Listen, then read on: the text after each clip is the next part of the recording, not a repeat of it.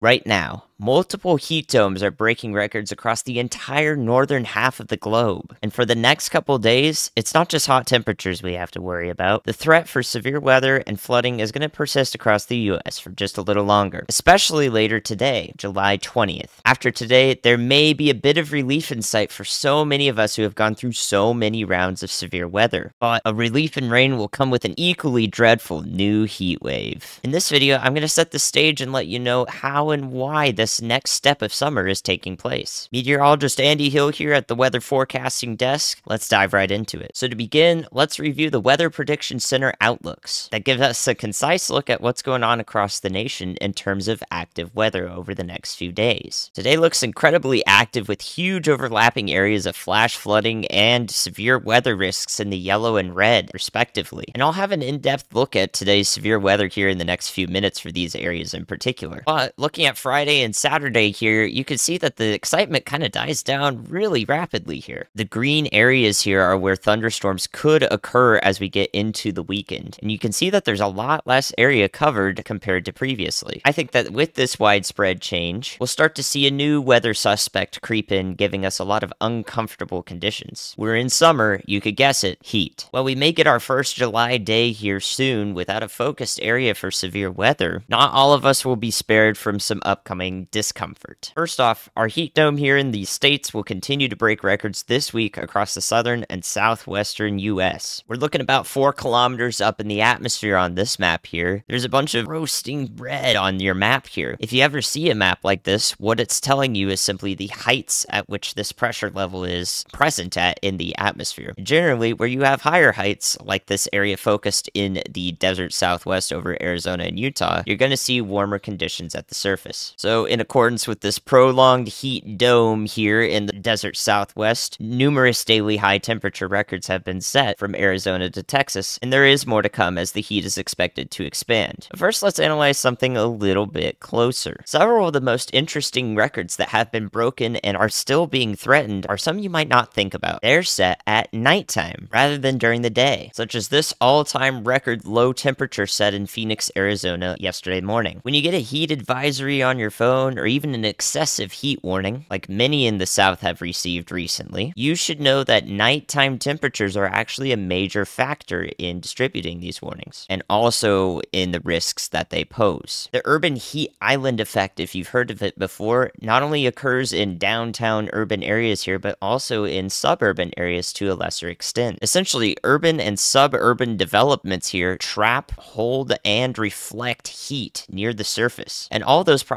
occur much more efficiently than over rural areas and fields. This means that daytime temperatures near the surface can be a couple of degrees Fahrenheit higher than what they would have been in a rural area. But what's not shown on this graphic in particular is that nighttime temperatures are actually the predominant urban heat island effect and can be over 5 degrees Fahrenheit warmer than in a rural area overnight. That is due to the slow release of heat that is absorbed by the buildings during the day, and that keeps the temperatures up as we go through the night. That hot air overnight places a continual stress on the power grid and also doesn't allow our bodies to cool off as efficiently. And that makes the next day's heat worse for everybody here on this graphic. So I know some of you watch these videos and say, oh, it's summer, it's just gonna be hot. But let that bit of knowledge about urban heat islands, especially in the suburban areas, factor into your own assessment of these heat advisories and warnings as you get them. And speaking of heat wave, we're gonna watch the expansion of one this weekend as the West Coast warms up all the way into Canada, and then next week into the center of the continent, as seen on this video's thumbnail and right here on this map of surface temperature anomalies. I looked at my weather app and I saw 99 degrees Fahrenheit coming up next week for the Twin Cities here in Minnesota where I'm at. That's a jump of 10 to 15 degrees Fahrenheit above what we've been experiencing in these areas, so it's definitely noteworthy and we should talk about it. Some areas of interest that will experience this heat wave, and shoutouts to y'all watching in these areas. Spokane, Washington over the next couple of days will approach 100 degrees Fahrenheit. Boise, Idaho is going to be in the mid hundreds, 105 degrees Fahrenheit over the next few days. Even Calgary, Alberta will reach 30 degrees Celsius at some point this weekend. As we get into next week, we can see areas in the high plains and the central plains start to heat up. That's approaching 100 degrees Fahrenheit here in Denver, Colorado near the start of the week. You can see these massive temperature anomalies also entering Saskatchewan. And then getting into the middle of the week, week, the whole the central plains warms up to nearly 100 degrees Fahrenheit from Oklahoma City north to Omaha and all the way up through the Dakotas and Minnesota. All those temperatures are analyzed very succinctly by this outlook map from the Climate Prediction Center for the end of July.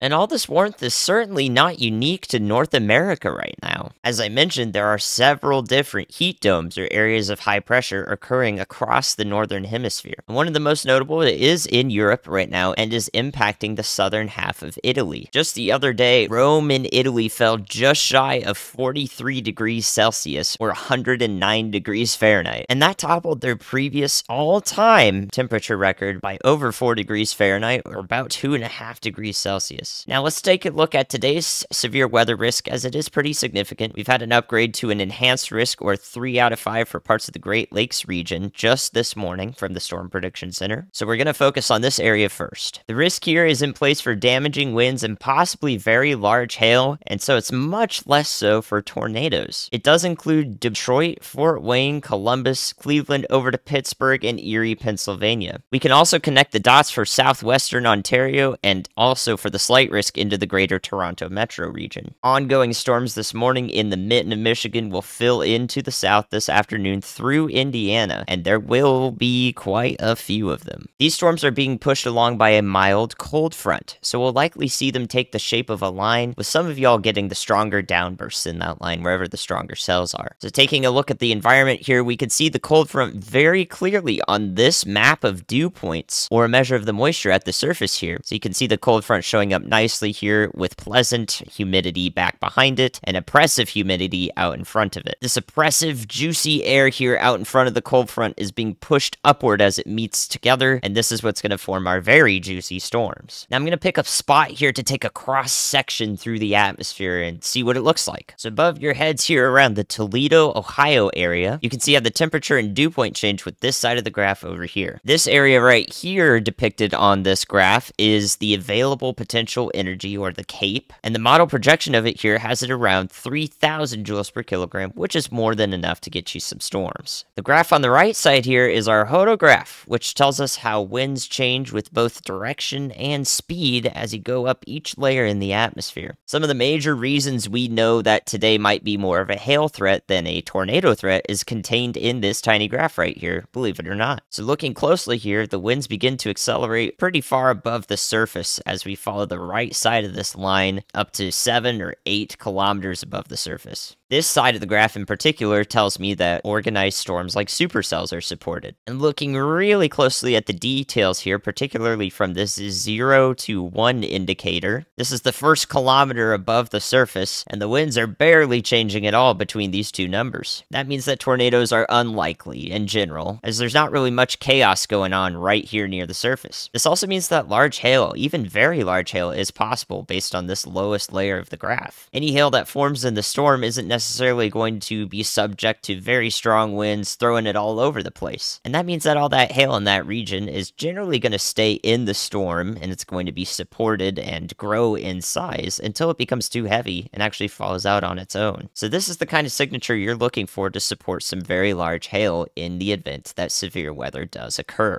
If we're looking at this hodograph here and the shape happened to be much more amplified like this and then follow the same rest of the trend way above the surface, Vice versa would exist on the tornado and hail threat. So once again, those storms push through Ohio and southern Ontario this evening and through Pennsylvania into the night hours tonight. At the same time, another windstorm or two will take a path of least resistance right down here through the southeast. So you can see that in action here. This is why we have a slight risk in the yellow in place for damaging winds through these areas into the early night. A few of y'all down here might get a couple rounds of severe weather. You might see two different shelf clouds today. And lastly, parts of the high plains into the central plains here will have one more go at an enhanced risk of severe weather, which will take off in the I-25 corridor in the early afternoon hours and continue on as a damaging complex of storms through the early night. The tornado threat over here is also lower today in the green is a marginal risk or the lowest risk that is highlighted for much of the same reasons as we discussed in the Great Lakes region in terms of what's in place in the atmosphere. But this same region does bear a significant risk for flash flooding in particular that may be the primary concern for y'all in these areas today. This weekend, the severe risks lower dramatically in the near term. There will be some attendant damaging wind threats that we can see already highlighted here through the southeast tomorrow, so we may see these risk areas upgraded or highlighted here with these storms that push through the northeast tomorrow as well. They're subject to change. But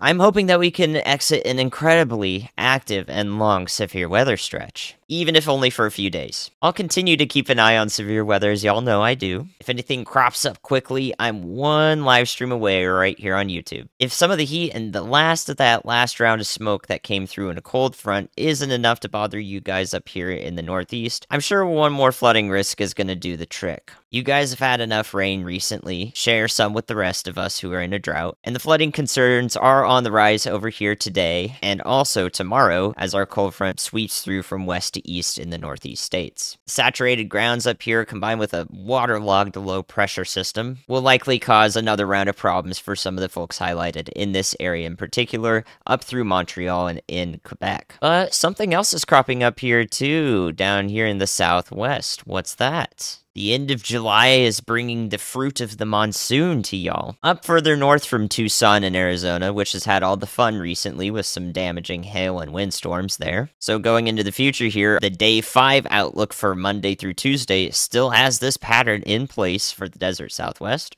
It looks like it's going to be pretty sporadic for now, but it's there. And now we wait. Thanks for watching today's video, y'all. Enjoy the storms as best you can. Remember, don't drive through flooded roads. If you can't enjoy them and you got that storm anxiety today, I appreciate you for taking the time to be weather aware via my channel as one of the many resources out there. So hopefully this update taught you some cool stuff, and I'll see you in the next one.